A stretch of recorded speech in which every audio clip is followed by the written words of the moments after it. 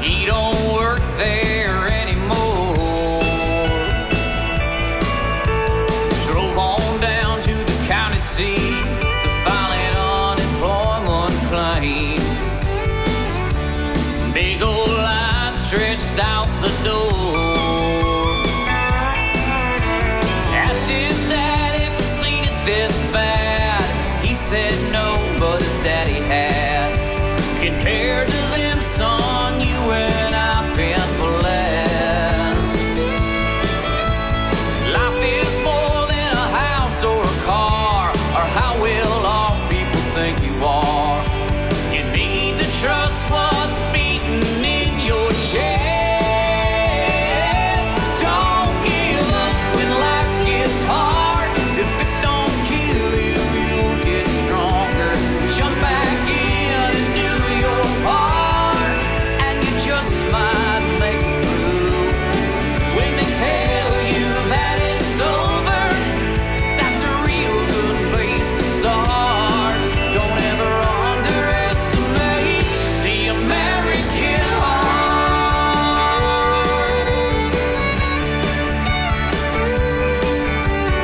ain't much into politics, cause it's a sucker's bet when the game is fixed.